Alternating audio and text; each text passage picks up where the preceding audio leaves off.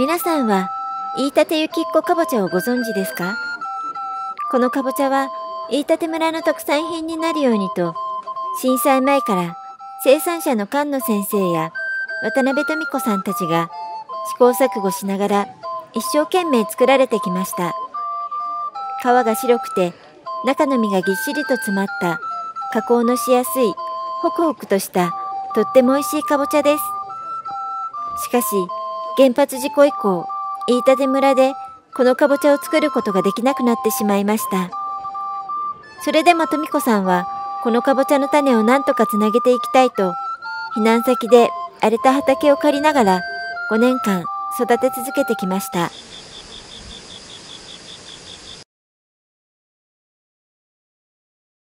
うちの集落のカリカリカリの置き場、うん、この橋を渡るとうちの集落なんだけど。こちらは飯舘村にある渡辺富子さんの加工場です。このすぐ近くには立派なご自宅もありました。ここがだいたい200坪の建物なんででちょっとあの震災でひび入ったところがああそこらへんかなあれ。ちょっとひび入っちゃったんだけどでそこにあの、まあ、牛小屋だったんだけどそこを大工さんの作業場にしてそこをあの古民家移築して、はい。ここでやりあのサロンやりたかったね、もうそれがもうできないから、であの昔のラジオとか もらってきたりあんなのもらってきたりしてもうダメだね。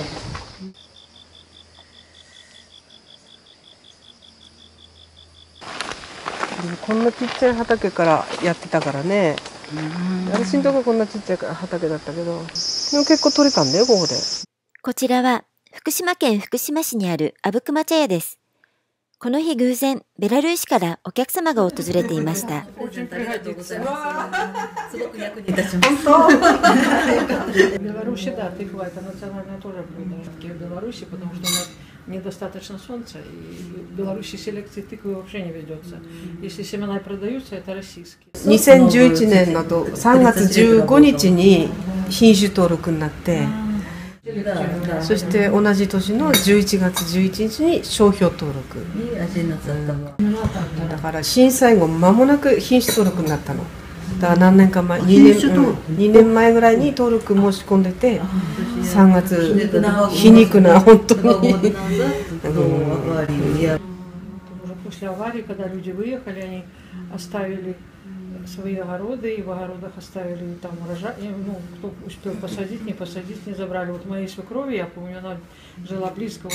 около Чернобыля недалеко. У нее такая картошка была, она в любой год родила, круглая, красная такая, неровная такая, кожа как потресканная. И вот она эту картошку, она говорила, что это да, у нее еще бабушкин сорт. Так она и пропала в Чернобыле. でも私はまあ、厳しい道だけども種をつなぐっていう道を選んで、だからつながったね飯舘ゆきっこかぼちゃの種は ベラルーシにもつながりましたこちらは横須賀の子ども食堂ですこの日メニューでは飯舘ゆきっこかぼちゃを使った夏野菜のカレーを作りました。このかぼちゃは春に富子さんから飯舘ゆきっこかぼちゃの種を譲り受け、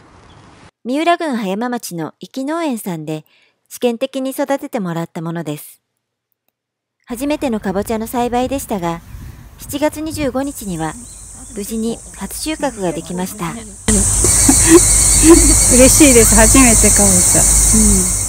うん、こちらは富子さんが今避難先の福島市で育てている飯舘ゆきっこかぼちゃの畑です。まあ震災で失ったものってすごくあるけどもまああのなんだか土は元に戻らないしあとは避難先で思うような土にもなれない出会えてないっていうのが、まあ、それは一番悔しいけどもまあでも震災があって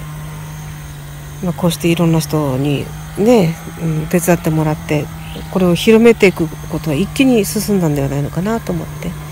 まあ、それそれであの自分がもう目指していたものにもうスピードを増して震災がなかったら多分皆さんと出会わなかったと思うし、うん、やっぱりやり続けることだよねやり続けて発信していくことだよね。今、飯舘ゆきっこかぼちゃの種は全国に広がりつつあります。